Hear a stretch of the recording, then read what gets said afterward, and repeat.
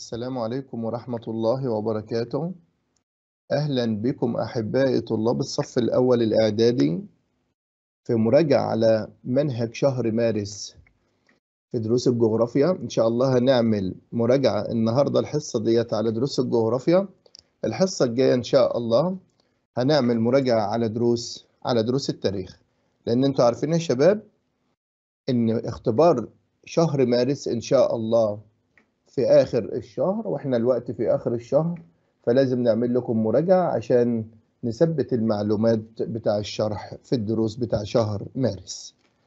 نبدأ المراجعة بتاعتنا على دروس الجغرافيا وشهر مارس زي ما أنتم عارفين بيشمل الأقاليم المناخية والنبات الطبيعي في العالم. ويا بعض نراجع بعض الأسئلة على الأقاليم المناخية والنبات الطبيعي في العالم ونبدأ بأول سؤال معانا وهو سؤال اختر الإجابة الصحيحة مما بين القوسين. أول سؤال من أسئلة اختر الإجابة الصحيحة مما بين القوسين معانا. واحد تصنف الأقاليم المناخية على سطح الأرض طبقا لعدة أسس منها. إحنا لما جينا نتكلم عن الأقاليم المناخية الأربع أقاليم مناخية اللي هي الأقاليم المناخية الحارة والأقاليم المناخية المعتدلة الدفيئة والأقاليم المناخية المعتدلة الباردة والأقاليم المناخية الباردة قلنا بنصنفهم صنفناهم أربع أقاليم حسب حاجتين. الحاجة الأولانية اللي هي تشابه كميات المطر الحاجة الثانية موجودة معانا في الثلاث اختيارات. يا ترى صنفنا الأقاليم المناخية على أساس التشابه في تأثير الضغط الجوي ولا التشابه في درجات الحرارة ولا التشابه في خطوط الطول. صنفناها على أساس إيه؟ مع تشابه كمية الأمطار. صنفناها على أساس أيوة التشابه في درجات الحرارة. تمام يا شباب؟ السؤال الثاني في اختر تنتمي المناطق الواقعة بين دائرتي عرض 10 شمالا و10 جنوبا إلى الإقليم المناخي الاستوائي البحر المتوسط الموسمي. صنفنا يا ترى الأقاليم المناخية اللي بتقع بين دائرتي عرض 10 شمالا و10 جنوبا. يا ترى بتنتمي إلى الإقليم المناخي إيه؟ تمام. الإقليم الاستوائي وشبه الاستوائي. طب فاكرين إقليم البحر المتوسط بيقع بين دائرتي عرض كام؟ 30 إلى 45 شمالا وجنوبا غرب القارات طب فاكرين الإقليم الموسمي؟ لا دي مالهش دوائر عرض مكتوبة في كتاب المدرسة ولكن مكتوب في كتاب المدرسة إن هو بيقع جنوب شرق قارة قارة آسيا يبقى الإجابة الصحيحة الإقليم الاستوائي وشبه الاستوائي. تتميز المناطق الواقعة بين دائرتي عرض 10 إلى 18 شمالا وجنوبا ب حبوب الرياح الموسمية شتاء حرارة مرتفعة طوال العام شتاء طويل شديد البرودة. طب الأول المناطق الواقعة بين دائرتي عرض 10 إلى 18 شمالا وجنوبا. يا ترى بتنتمي إلى أي إقليم مناخي؟ أيوة بتنتمي إلى الإقليم المناخي المداري. طيب الإقليم المناخي المداري بقى بيتميز بإيه في الثلاث حاجات دول؟ الإقليم المداري تمام إحنا كنا قلنا بيتشابه مع الإقليم الاستوائي في الحرارة المرتفعة طوال العام يبقى الإجابة حرارة مرتفعة طوال العام السؤال اللي بعد كده يمتد الإقليم المناخي المداري الحار بين المناخ المداري الحار اللي هو 10 إلى 18 شمالا وجنوبا بيقع بين الإقليم هو يا ترى بين إقليمي الإقليم الصحراوي الحار والاستوائي البحر المتوسط والصيني الموسمي والإقليم الصحراوي الحار. طب إحنا لو جينا كده نشوف الدوائر العرض بتاع إقليم البحر المتوسط وإقليم الصين 30 إلى 45 لا طبعا ده المداري من 10 ل 18 طب الإقليم الموسمي ده موجود في جنوب شرق قارة آسيا بس.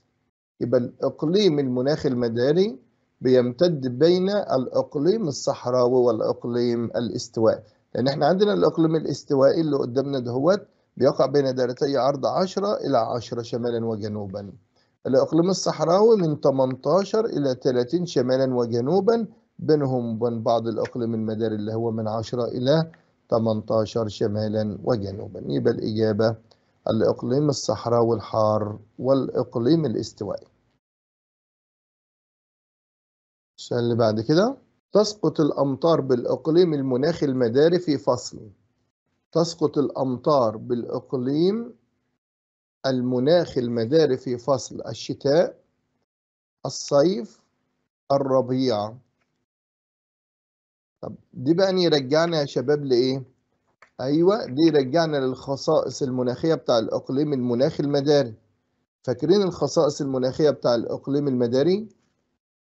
أيوة الخصائص المناخية بتاع الإقليم المداري بيقول لنا ارتفاع درجة الحرارة طوال العام سقوط المطر خلال فصل الصيف وتقل كميات المطر كلما بعدنا عن دائرة الاستواء يبقى الإجابة في فصل الصيف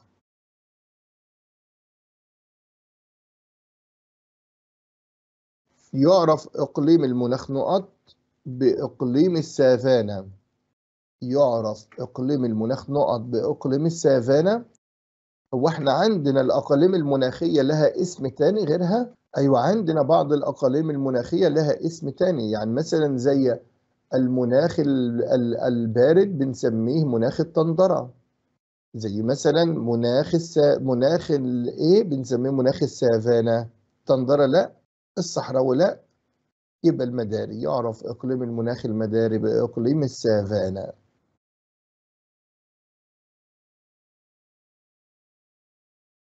يمتد الإقليم المناخي نقط جنوب شرق قارة آسيا الموسمي المداري البحر المتوسط لسه قايلينها دلوقتي. يمتد الإقليم المناخي نقط جنوب شرق آسيا لسه قايلينها أيوة الإقليم. الموسمي اللي موجود جنوب شرق آسيا. القارة التي تقع معظم أراضيها في نطاق الأقاليم الحارة هي القارة التي تقع معظم أراضيها في نطاق الأقاليم الحارة هي أمريكا الشمالية. لا ده إحنا عندنا أمريكا الشمالية قريبة من المحيط القطبي الشمالي. أستراليا؟ لا ده أستراليا بعيد شوية. آه معظم مساحة أستراليا بتقع في الإقليم المداري الحار لكن في قارة بقى اللي معظم أراضيها بيقع في نطاق الأقاليم الحارة غير أستراليا هي قارة أفريقيا يبقى الإجابة أفريقيا طب إحنا ليه ما اخترناش أستراليا؟ ما اخترناش أستراليا لأن أستراليا بيمر بها مدار واحد بس اللي هو مدار الجدي لكن أفريقيا بيقع معظمها ما بين مدار السرطان في الشمال ومدار الجدي في الجنوب. ينتمي إقليم مناخ البحر المتوسط إلى الأقاليم المناخية. مناخ البحر المتوسط بينتمي إلى الأقاليم المناخية معتدلة باردة. لا الأقاليم المناخية المعتدلة الباردة عندنا ثلاثة ما فيهاش إقليم البحر المتوسط. أقاليم المناخية المعتدلة الباردة عندنا غرب أوروبا وعندنا اللورنسي وعندنا القار البارد. طب الأقاليم المناخية الحارة؟ لا الأقاليم المناخية الحارة أربعة ما فيهاش البحر المتوسط.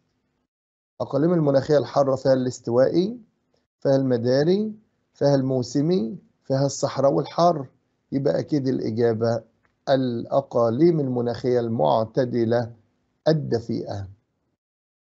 طب الأقاليم المناخية المعتدلة الدفيئة بتشمل إقليم مناخ البحر المتوسط وإيه يا ترى؟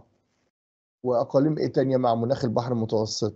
فيها إقليم البحر المتوسط وفيها أيضا إقليم الصحاري المعتدلة وفيها الإقليم الصيني اللي هو المعتدل شرق القارات المعتدل الدافئ شرق القارات اللي إحنا بنسميه الصيني تتميز الأطراف الشمالية لمصر بصف حار جاف وشتاء دافئ ممطر لوقوعها ضمن إقليم مناخي إيه يا ترى؟ دي صفات الإقليم إيه؟ تمام دي صفات الإقليم بتاع البحر المتوسط يبقى الأطراف الشمالية لمصر الأطراف الشمالية لمصر تتميز بصف حار جاف شتاء دافئ ممطر لوقوعها ضمن إقليم البحر المتوسط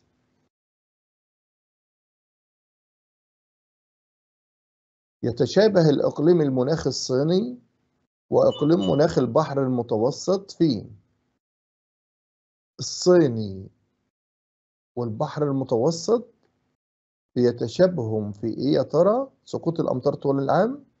لا طبعا لأن إقليم البحر المتوسط أمطاره في فصل الشتاء آه الصيني أمطاره طول العام. لكن البحر المتوسط دي في فصل الشتاء الانتشار بقارة أوروبا لا الصين مش موجود أصلا في قارة أوروبا. مش موجود. يبقى أكيد الوقوع بنفس دوائر العرض. طب ليه الوقوع بنفس دوائر العرض؟ لأن الاتنين بيمتدوا ما بين 30 إلى 45 شمالا وجنوبا.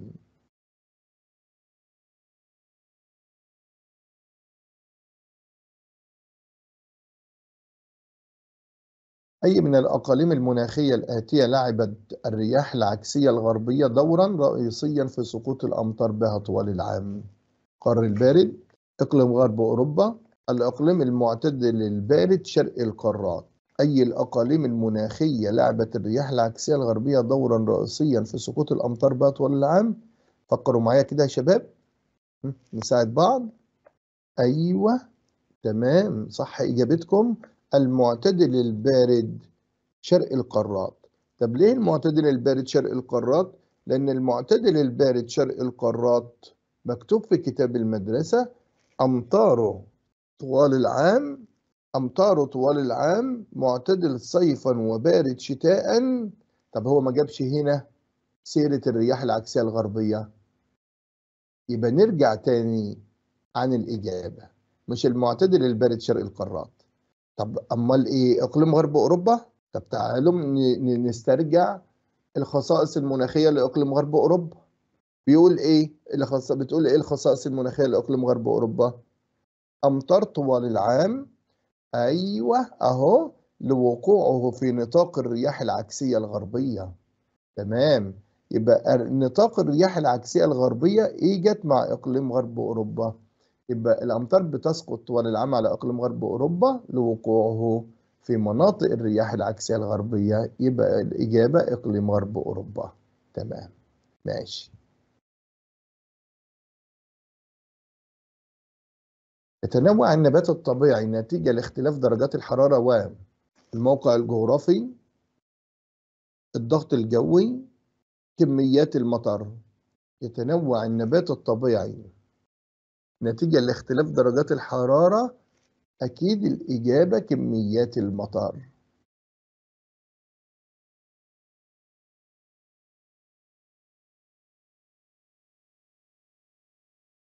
من أنواع الغابات التي تنمو في المناطق الحارة البحر المتوسط البحر المتوسط مش في مش في المناطق الحارة في المناطق المعتدلة الدافئة النفضية لا ده النفضية ياه! ده النفضية في المناطق المعتدلة الباردة. الغابات الاستوائية؟ أكيد الغابات الاستوائية لأنها بتقع في المناطق الحارة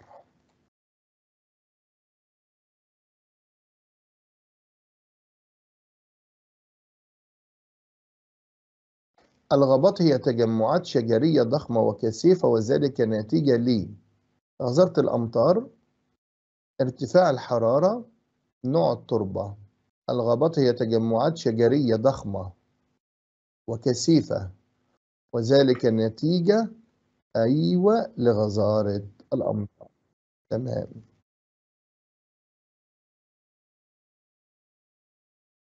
من الأشجار المثمرة في الغابات الاستوائية الزان الكاكاو الزيتون. الإجابة إيه؟ الزان. امم موافقين يا شباب على الإجابة دي؟ لا طبعا. الزان من أشجار الغابات النفضية. طب الزيتون؟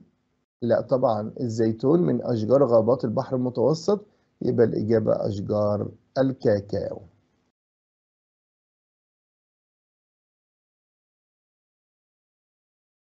تنمو أشجار نقط ضمن إقليم غابات البحر المتوسط.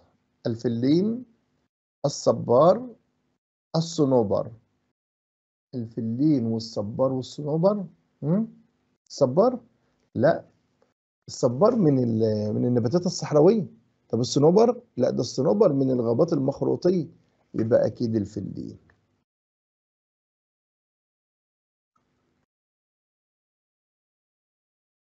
من أشجار الغابات النفضية الماهوجني الزان الشربين.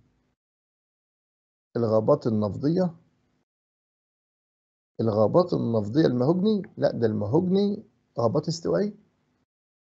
طب شربين لا ده إحنا لسه قايلين دلوقتي إن هو غابات مخروطية صنوبرية يبقى أكيد الزان.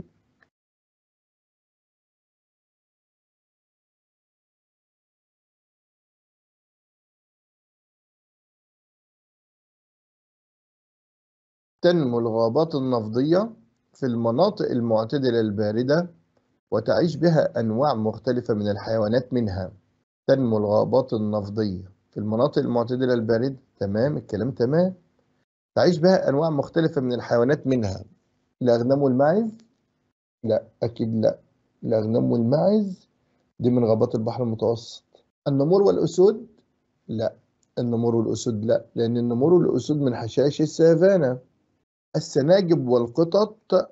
أيوة تمام. هي السناجب والقطط. بتعيش في الغابات النفضية.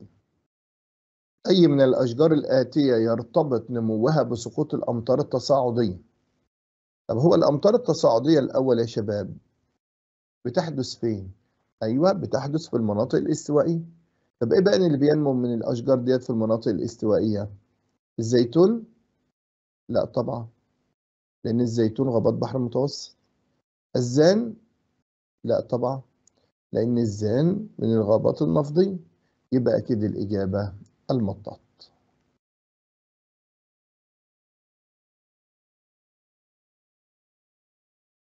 أي من الأقاليم المناخية التالية تنمو بها الغابات النفضية؟ نجيبها من تحت كده. المعتدل الدافئ والمداري؟ لا طبعا المعتدل الدافئ ده غابات الإقليم الصيني والمداري. دي الغابات المدارية وحشائش السافان الطندرة والجبلي. لا طبعا لأن الطندرة عبارة عن طحالب بتنمو بعد ذوبان الجليد. أيوة يبقى الإجابة غرب أوروبا والمعتدل البارد. مقصود بالمعتدل البارد هنا يا شباب اللي هو المعتدل البارد شرق القارات اللي إحنا بنسميه الإقليم الأورنسي تعيش الفيلة في الغابات الاستوائية؟ لا طبعا مش الغابات الاستوائية لأن الغابات الاستوائية يا شباب هنا الأشجار كثيفة ومتشابكة فمش هتقدر إن هي مش هيقدر الفيلة إن هم يعيشوا فيها يعدوا منها إزاي؟ من بينها إزاي؟ حشائش المعتدلة لا الحشائش المعتدلة ديت اللي هي حشائش الاستبس دي بنربى عليها الأغنام والمعز يبقى أكيد الحشائش الحارة السؤال اللي بعد كده. من النباتات الصحراوية التي لها القدرة على تحمل الجفاف الفلين لا الفلين الكاكاو والنخيل. من النباتات الصحراوية التي لها القدرة على تحمل الجفاف إحنا عندنا الفلين وعندنا النخيل. هنختار إيه يا ترى؟ ها؟ نختار إيه؟ أيوه. طب النخيل ليه؟ لأن هو هنا في السؤال بيقول من النباتات الصحراوية. ما قالش من أشجار غابات البحر المتوسط التي تتحمل الجفاف. كنا قلنا الفلين لكن هو هنا بيقول النباتات الصحراوية يبقى نختار على طول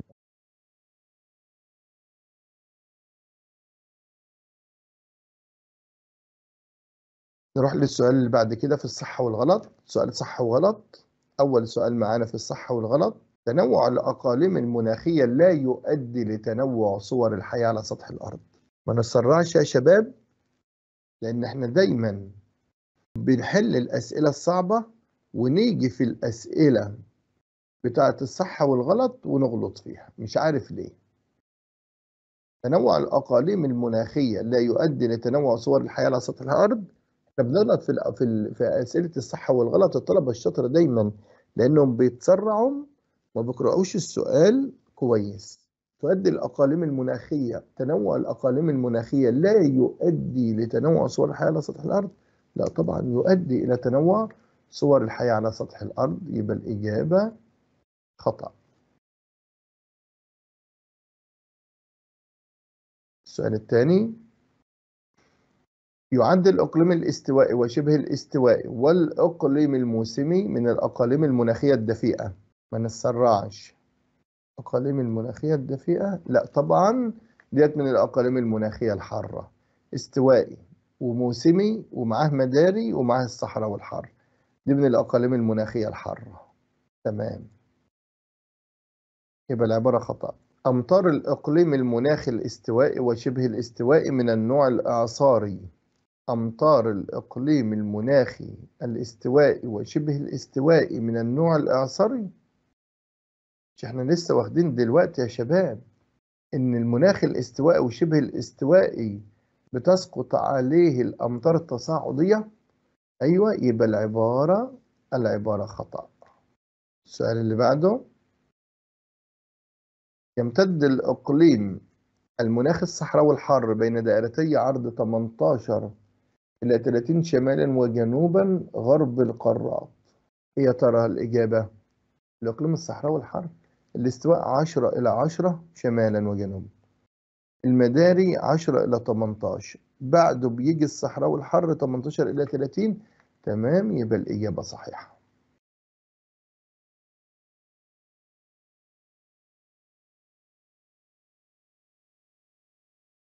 تسقط الأمطار طوال العام في الإقليم المناخي المعتدل البارد شرق القارات. طب هو المعتدل البارد شرق القارات بنسميه اسم تاني هو إيه؟ أيوة اللورنسي تمام طب الأمطار بتاع الإقليم اللورنسي بتسقط طوال العام؟ تسقط طوال العام؟ أيوة تسقط طوال العام طيب ما تقولوا لي كده يا شباب على إقليمين تانيين بتسقط عليهم الأمطار طوال العام غير المعتدل البارد شرق القارات اللي إحنا بنسميه اللورنسي أيوة في الاستواء وشبه الاستواء أمطار طوال العام وفي إيه؟ أيوة الصيني أمطاره أيضا طوال العام. يبقى العبارة صحيحة. يتسم الإقليم الصحراوي الحار بالمدى الحراري الكبير. يتسم الإقليم الصحراوي الحار بالمدى الكبير بالمدى الحراري الكبير. الإجابة صح ولا غلط؟ أيوة الإجابة صحيحة. تمام. تمام.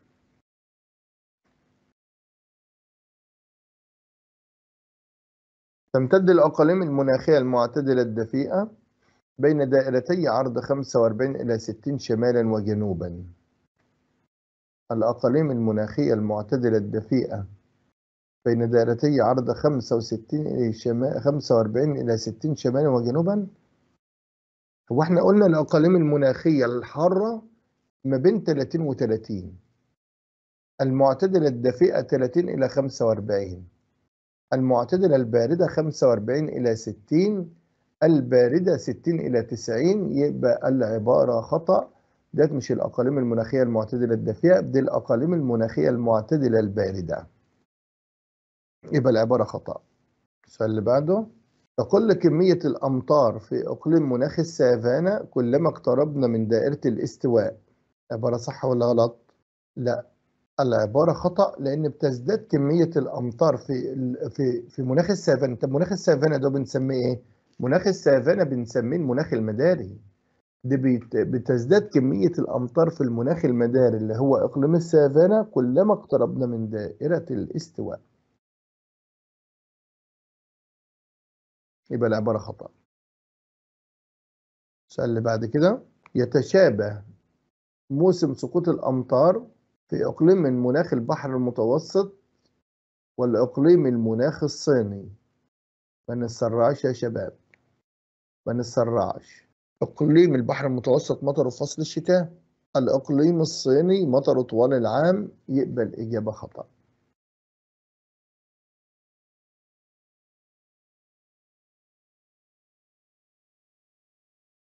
يمتد الإقليم المناخ الصحراوي الحر في غرب القارات. يمتد الإقليم المناخ الصحراوي الحار في غرب القارات؟ إحنا لسه قايلينها دلوقتي إن الإقليم المناخ الصحراوي الحار بيقع بين دائرتي عرض 18 إلى 30 18 إلى 30 شمالا وجنوبا في غرب القارات. يبقى العبارة صحيحة. يعد الفلين من أهم أشجار غابات البحر المتوسط. الفلين من أهم أشجار غابات البحر المتوسط؟ طب أنتوا فاكرين إن أهم أشجار غابات البحر المتوسط إيه؟ أيوه أهم أشجار غابات البحر المتوسط عندنا الزيتون وعندنا الفلين يبقى الإجابة صحيحة.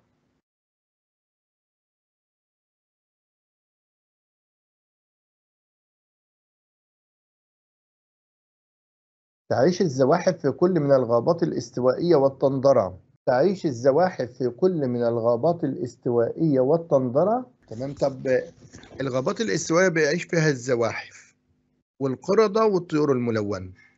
لكن التندرة بيعيش فيها الزواحف؟ لا طبعا التندرة ما بيعيش فيها الزواحف. طب أمال التندرة أهم الحيوانات اللي في التندرة إيه يا شباب؟ أهم الحيوانات اللي في التندرة حيوان اسمه الرنة وحيوان اسمه الكاريبو. الرنة أو الكاريبو. دول اللي بيعيشوا في التندرة يبقى العبارة خطأ. تشترك الغابات على اختلاف أنواعها في أنها دائمة الخضرة. يا ترى الإجابة إيه؟ الغابات. على اختلاف أنواعها دائمة الخضرة. يعني إحنا عندنا الغابات الاستوائية دائمة الخضرة. غابات البحر المتوسط دائمة الخضرة. غابات صنوبرية دائمة الخضرة. ولكن الغابات النفضية مش دائمة الخضرة. ليه؟ لأنها تنفض أوراقها في فصلي الشتاء والخريف بسبب طبعا شدة البرودة أو بسبب سقوط الثلوج وشدة البرودة. يبقى العبارة خطأ. في الغابات النفضية ما هياش دائمة الخضرة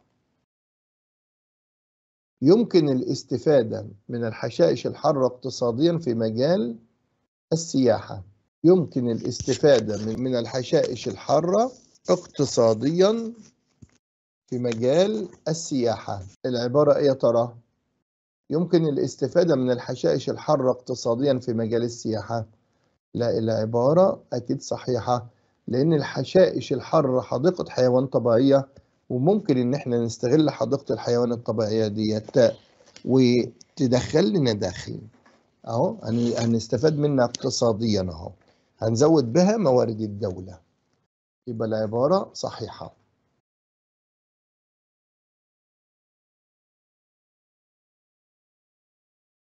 تنمو الحشائش الحارة في فصل الصيف.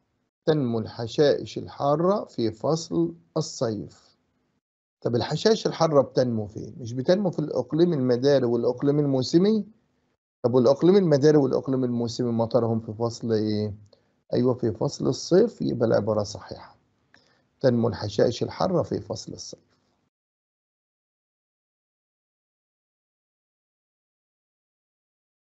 تعيش الوعول والجرذان والكثير من الزواحف في شمال آسيا بالصحراء الكبرى. الوعول والجرذان آه هي بتعيش في قلب الصحاري. هي والزواحف. بس في شمال آسيا؟ لا مش في شمال آسيا. أمال فين يا ترى؟ ده ديت في شمال أفريقيا الصحراء الكبرى في شمال أفريقيا مش في شمال آسيا. يبقى العبارة خطأ. في شمال أفريقيا. الإقليم المعتدل البارد شرق القارات من الأقاليم المناخية المعتدلة الباردة المعتدل البارد شرق القارات هو اسمه إيه؟ ليه اسم تاني؟ أيوة اسمه اللورانسي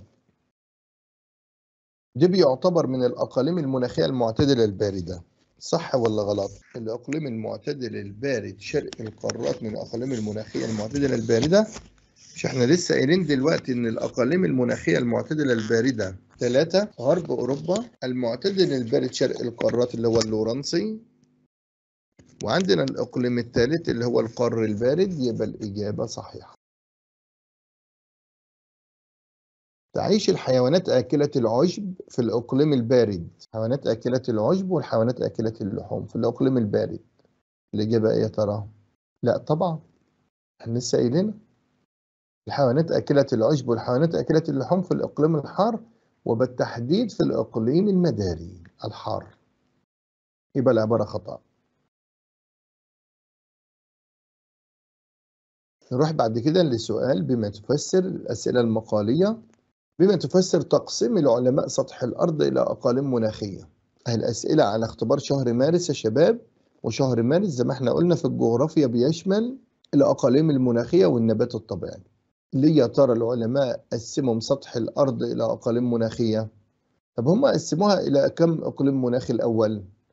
أيوة إلى أربع أقاليم مناخية اللي هي الأقاليم المناخية الحارة والأقاليم المناخية المعتدلة الدفيئة والأقاليم المناخية المعتدلة الباردة والأقاليم المناخية الباردة. طب هم قسموها إلى أربع أقاليم مناخية ليه يا ترى؟ قسموها إلى أربع أقاليم مناخية حتى يسهل على العلماء دراسة المناخ على سطح الأرض من حيث الحرارة والأمطار والرياح. يبقى تقسيم العلماء سطح الأرض إلى أقاليم مناخية. حتى يسهل على العلماء دراسة المناخ على سطح الأرض من حيث الحرارة والرياح والأمطار. السؤال اللي بعد كده. بما تفسر سقوط الأمطار طوال العام في إقليم غرب أوروبا لسه قايلينها دلوقتي. سقوط الأمطار طوال العام في إقليم غرب أوروبا. تمام؟ لوقوعه في نطاق الرياح العكسية الغربية. لوقوعه في نطاق الرياح العكسية الغربية. السؤال اللي بعد كده.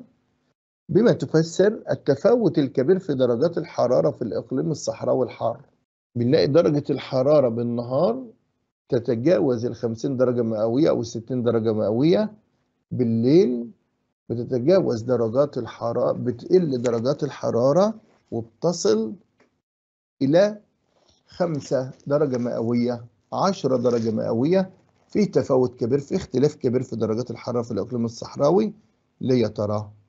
أيوة لأن المدى الحراري اليومي والسنوي كبير لأن المدى الحراري اليومي والسنوي كبير. تمام. بما تفسر تنوع النبات الطبيعي على سطح الأرض. تنوع النبات الطبيعي على سطح الأرض.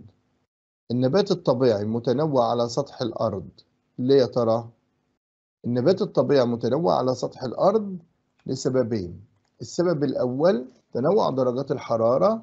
السبب الثاني اختلاف كمية كمية المطر السؤال اللي بعد كده بما تفسر تناقص مساحة الغابات في الوقت الحاضر تناقص مساحة الغابات في الوقت الحاضر ليه مساحة الغابات تناقصت في الوقت الحاضر؟ لأن الإنسان قطع مساحات كبيرة منها وذلك ليه؟ ليه يا ترى؟ الاستفادة من أخشبها عشان يستفيد من أخشبها اتنين إحلال الزراعة محلها السؤال اللي بعد كده تعتبر حشائش السافانا حديقة حيوان طبيعي ليه السافانا حديقة حيوان طبيعية؟ حد يفكرني بالإجابة كده؟ حيث يعيش بها حيوانات آكلة العشب زي إيه حيوانات آكلة العشب؟ زي الغزلان والزراف والفيلة حيوانات آكلة اللحوم زي إيه يا ترى حيوانات آكلة اللحوم؟ زي الأسود والنمور والضباع. بما تفسر أهمية الحشائش. أهمية الحشائش طبعا مراعي طبيعية لها أهمية كبيرة بالنسبة للثروة الحيوانية. إحنا بنربي الثروة الحيوانية بتاعتنا على إيه يا شباب؟ على الحشائش سواء الحشائش الحارة أو الحشائش المعتدلة. ففاكرين الحشائش الحارة بنسميها إيه؟ السافانا والحشائش المعتدلة بنسميها الاستبس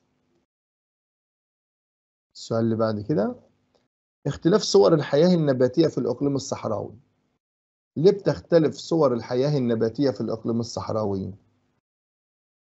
بتختلف صور الحياة النباتية في الإقليم الصحراوي حيث هناك نباتات تتحمل ظروف الجفاف وقسوة المناخ من خلال طول الجذور مثل أشجار النخيل وهناك نباتات لها القدرة على تخزين المياه مثل التين الشوكي والصبار السؤال اللي بعد كده ما النتائج المترتبة على إزالة الغابات؟ إيه يا ترى النتائج المترتبة على إزالة الغابات؟ النتائج المترتبة على إزالة الغابات أدى إلى الإخلال بالنظام البيئي حيث اختفت أنواع كثيرة من الحيوانات والطيور اتنين ارتفاع درجة حرارة الأرض السؤال اللي بعد كده ماذا يحدث إذا وقعت مصر بين دائرتي عرض عشرة شمالا إلى عشرة جنوبا لو جالنا سؤال زي ده يا شباب نعمل في إيه؟ نشوف دوائر العرض ديت بتشمل إقليم مناخي إيه؟ أيوة بتشمل إقليم مناخي الاستوائي يبقى نجيب الإجابة بتاعته نجيب الإجابة بتاعته اللي هي خصائص المناخية بتاعة الإقليم الاستوائي. وكمان الخصائص النباتية تمام. وكمان الخصائص النباتية. طب إيه يا ترى بقى الخصائص المناخية بتاع الإقليم الاستوائي اللي هو ما بين 10 شمالا و10 جنوبا واحد ارتفاع درجة الحرارة والرطوبة طوال العام اتنين سقوط الأمطار طوال العام. السؤال اللي بعد كده ماذا يحدث إذا تشابه المناخ على سطح الأرض؟ إيه يا ترى ماذا يحدث إذا تشابه المناخ على سطح الأرض؟ المناخ ما كانش متنوع على سطح الأرض. يحصل إيه؟ لو تشابه المناخ على سطح الأرض لو تشابه المناخ على سطح الأرض هيؤدي إلى لن تتنوع المحاصيل الزراعية. لن يتنوع النبات الطبيعي. يصبح المناخ إما حارا أو باردا أو ممطرا أو جافا يكون هناك ملل في حياة الإنسان لأن أنتم عارفين أن التنوع هو أجمل حاجة في الحياة. تنوع الأشكال تنوع النباتات تنوع المحاصيل تنوع كل حاجة. هيبقى فيه هناك ملل في حياة في حياة الإنسان. بنكون كده وصلنا يا شباب إلى نهاية حصة النهاردة والحصة دي خصصناها لمراجعة منهج الجغرافيا على شهر مارس اللي هو الأقاليم المناخية والنبات الطبيعي في العالم. وإلى اللقاء إن شاء الله في مراجعة الحصة الجاية مراجعة التاريخ على منهج شهر مارس. وهيبقى مراجعة التاريخ هتشمل ثلاث دروس إن شاء الله. درس الإسكندر الأكبر في مصر مصر تحت حكم البطالمة. مصر تحت حكم الرومان والسلام عليكم ورحمة الله وبركاته.